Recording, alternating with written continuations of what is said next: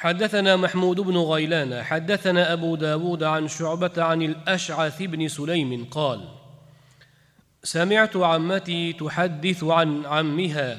قال بين أنا أمشي بالمدينة إذا إنسان خلفي يقول ارفع إزارك فإنه أتقى وأبقى. فإذا هو رسول الله صلى الله عليه وسلم فقلت يا رسول الله إنما هي بردة ملحاء. قال أما لك في أسوة؟ فنظرت فإذا إزاره إلى نصف ساقيه. أشعر ابن أشعاس ابن سليم. أيتد. من أمام دن إشتم. أمام أمكس دن رواية قلد. أمك أمكلار عبد الله بن زيد رضي الله عنه مولغن عبد الله بن عبيد بن خالد. Ubayd ibn xolid degan kishi bo'lganlar roziyallohu anhu. Ubayd ibn xolidning jiyani demak e, ashas ibn sulaymning ammasi aytadiki ubayd ibn xolid amakim menga aytdiki shunday hikoya qildi. Men madinaning ko'chalaridan birida yurib ketayotgan edim.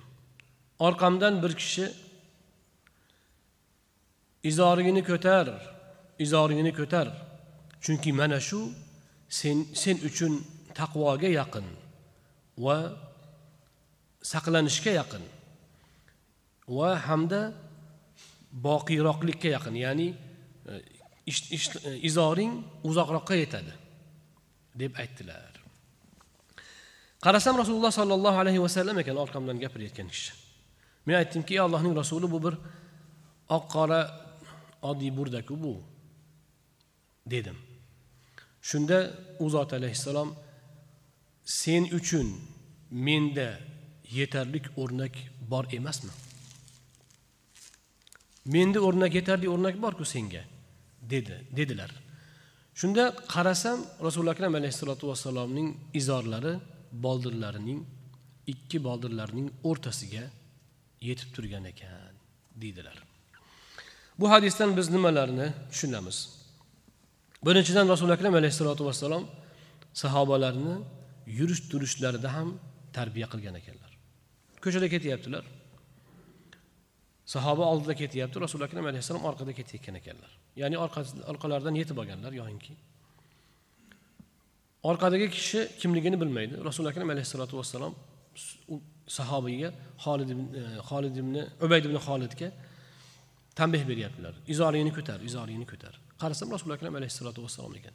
Payg'ambarimiz alayhissalotu vassalomning birinchidan sahobalarni yo'l yo'lakay ham yurish turishda ham ko'cha ko'yda ham tarbiyalaganlarini tushunamiz bundan.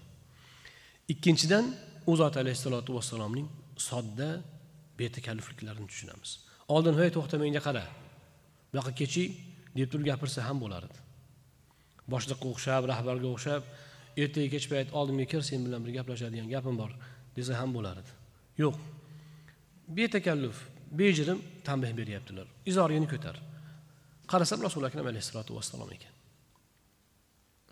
Payg'ambarimiz alayhissalotu vassalom izoringni ko'tar degan degandan keyin nima uchun aytayotganlarini izohlayaptilar. Chunki mana shu seni uchun taqvoga yaqin. Taqvoga yaqin va kiyiming uzoqroqqa yetishiga bois bo'ladi. Yana boshqa rivoyatda fainnahu anqo deganlar. Mana shu pokroq bo'lishiga yaqin.